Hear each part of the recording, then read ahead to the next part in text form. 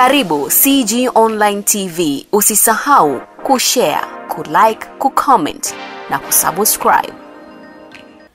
Okay, majina yangu mimi na naitwa Daudi Leonard Sahani. Uh, ni miongoni mwa vijana ambao uh, nilikuwa nimegombea nafasi ya ubunge jimbo la Sorwa Shinyanga vijijini.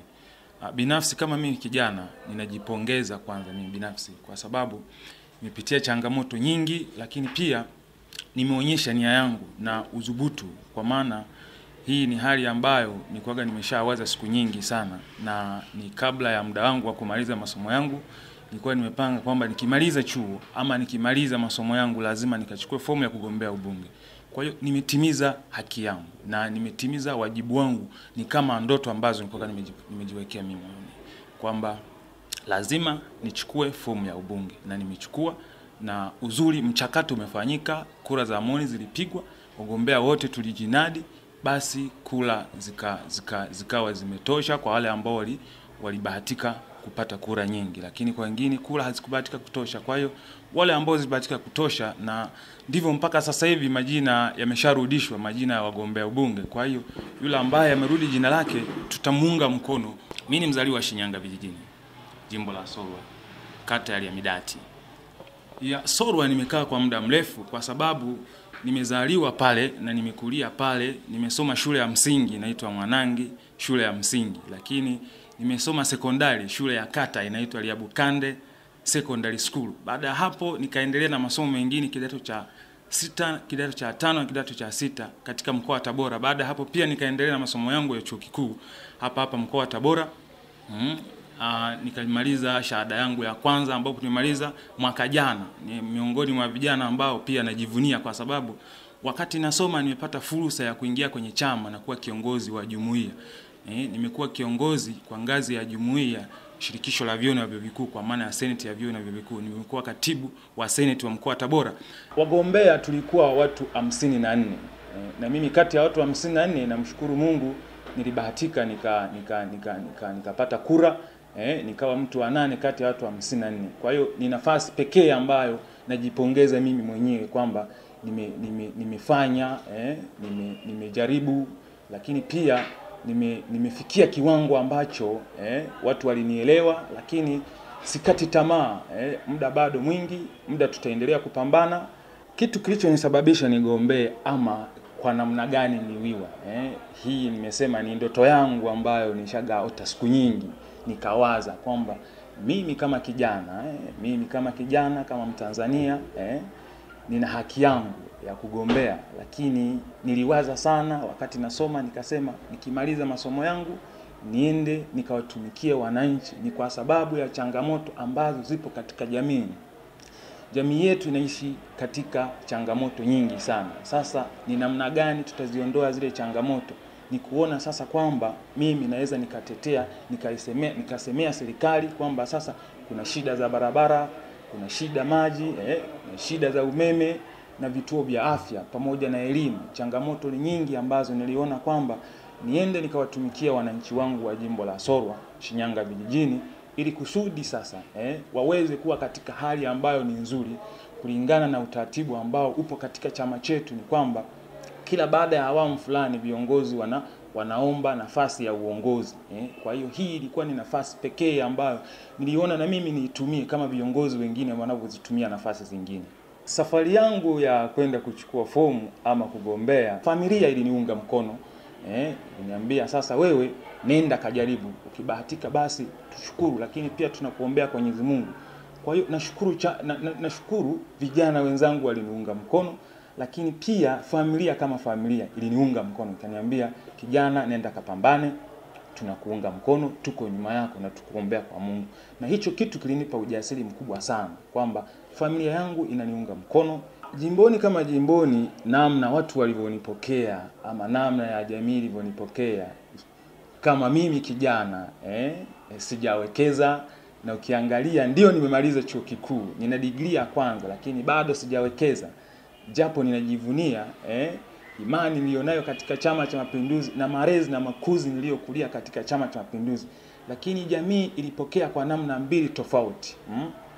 Wapo waliosema kwamba huu ni wakati wa vijana gombea, utapata nafasi, lakini pia wapo waliosema kwamba sasa labda ungetafuta fedha kwanza kidogo, halafu uweze kujimarisha kiuchumi. Eh, wapo walionishauri wakasema, sasa hizi nafasi sasa hivi sio kila mtu ambaye ana fedha anaweza akawa kiongozi. Eh, unaweza ukawa na fedha nyingi sana za kutosha, lakini usiwe kiongozi. Safari ilikuwa ni kubwa, safari ilikuwa ni ngumu, nimepitia changamoto nyingi na nikiangalia namna nilivyokuwa nafanya eh, ukiangalia sikuwa na usafiri wote, na nilichukua pikipiki eh, nimetumia usafiri wa pikipiki na pikipiki nilichukua nyumbani, sio ya kwangu. Kwa hiyo nimejaribu kuzunguka maeneo mengi, na ukiangalia jimbo letu lina kata ishirini na sita na hizo kata ni kubwa, kutoka kata nyingine kwenda kata nyingine ni kubwa sana. Kwa hiyo changamoto pia ni namna ya kufika kutoka sehemu nyingine kwenda sehemu nyingine, kutoka kata moja kwenda kata nyingine. Kwa kweli ni, ni, ni mbali kidogo, kwa sababu unaweza ukasafiri kwa baskeli, na hasa sisi kijijini tunatumia baskeli, barabara zetu bado ni mbovu eh. Kwa hiyo unaposafiri kutoka sehemu moja kwenda sehemu nyingine unaweza ukatumia masaa mawili eh, masaa matatu hadi manne kutoka kata nyingine kwenda kata nyingine. Kwa hiyo hiyo ni changamoto pia ya kwamba sasa ni namna kipindi chama chetu kimeruhusu kwamba sasa tuende tukapite katika ofisi za chama za kata ama katika ofisi za chama husika, tujitambulishe. Namna ile ya kujitambulisha, kupita kutoka kata nyingine kwenda kata nyingine, kwa kweli nipa changamoto kubwa sana. Wenzangu niseme kwamba labda kila mtu alikuwa anasafiri kwa namna yake, lakini E, wengine walikuwa na magari e, mimi sina gari e, watu wametembea na magari wamejitambulisha wame, wame sehemu nyingine.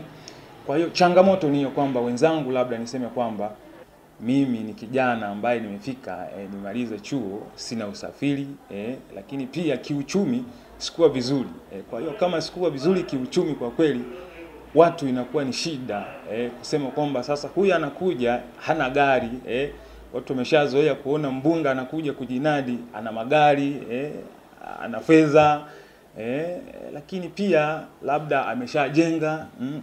Hiyo pia ni mojawapo ya changamoto ambayo imenikumba katika safari yangu, ya kwamba sasa watu unapokuwa unaongea nao sifa unazo eh, unaongea mambo mengi, mnashauriana, lakini shida inakuja tu ni kwamba pale mtu anapokuwa anahitaji sasa kwamba ungeweza kumsaidia chochote, sasa kwamba we ni mgombea ubunge eh, anaweza akasema sasa, mheshimiwa, ni muombe hata hela ya maji basi nikanywe. Hiyo ndiyo inakuwa changamoto kubwa eh?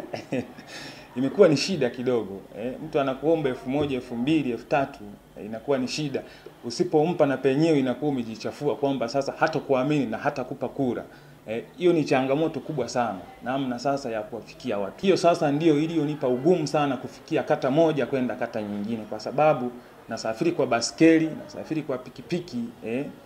Tofauti labda na wengine ambao labda wanatumia magari, wapo kwenye ajira moja kwa moja eh, na ukiangalia mimi ni kijana ambaye sijapata ajira yoyote. Wapo watu walionisaidia kwamba sasa, kijana, tunakusaidia sana eh, kwa kukuombea, lakini pia shika na kidogo, ukifika sehemu fulani utakunywa na maji. Lakini hicho ndicho kilichonipa matumaini makubwa sana, pamoja na kwamba nilipata changamoto ya kuwafikia wananchi eh, ama kuwafikia sasa sehemu za ofisi kwenda kujitambulisha sehemu ambazo wapiga kura wanapatikana.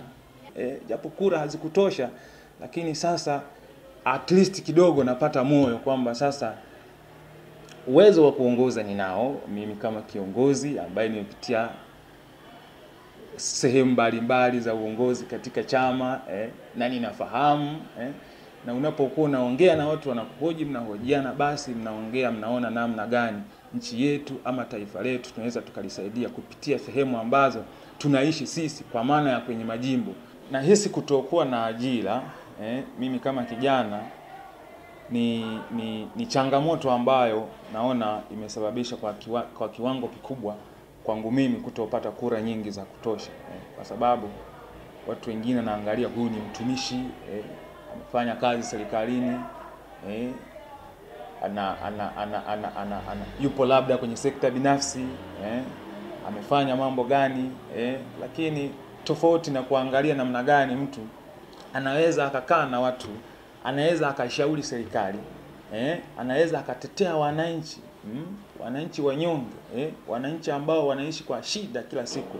Kwa hiyo sisi kama watu ambao tuna, tuna, tuna, tuna, tunaishi kwenye changamoto tunazijua eh, mimi nimezaliwa kwenye familia maskini ambapo ni mtu wa kwanza hadi kusoma kupata digrii ya kwanza.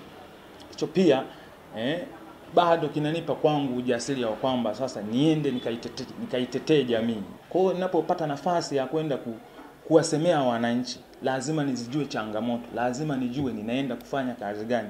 Si kwamba nita- nitakapokuwa na fedha kubwa nyingi mfukoni mwangu ndicho kitakachonisababisha mimi niende wapi, niende bungeni nikawatetea wananchi eti kwa sababu mimi nina fedha. Hapana, hiyo ni dhana potovu ambayo eh, ipo katika vichwa vya wapiga kura wetu, lakini pia katika jamii, si kwa wote, lakini ni kwa wachache.